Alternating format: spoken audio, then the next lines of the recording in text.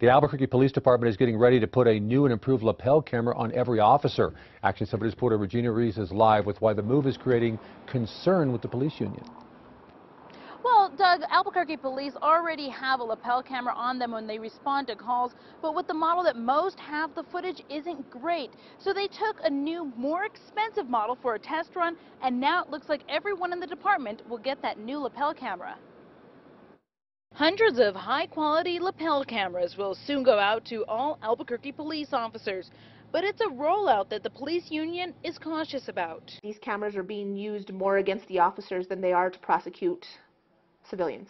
The Police Officers Union is not opposed to APD having the improved lapel cameras, but they feel the cameras could create more problems than they solve. We do not want to see them use it against the officer to mandate that every contact is being recorded and we know when it was on a trial basis that officers were being asked to record their whole entire shift. Police Union President Stephanie Lopez is also concerned that the new lapel cameras have a minute-for-minute -minute downloading time. So if you record an hour, it will take an hour to download the footage. The old ones could download video in only a couple of minutes. It's unreasonable to hope that an officer would be able to record his whole shift because how are they going to accommodate downloading this footage if it's used for an 8 to a 10 hour shift. Lopez explains the new cameras run about $1,000 each. The previous model cost around 100 bucks, and that's another concern. It's costly to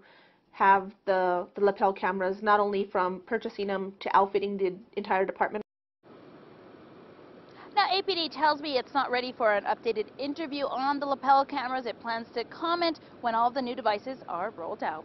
Reporting live from APD headquarters, Regina Ruiz, Action 7 News. And the trial phase for the high-tech cameras has already started.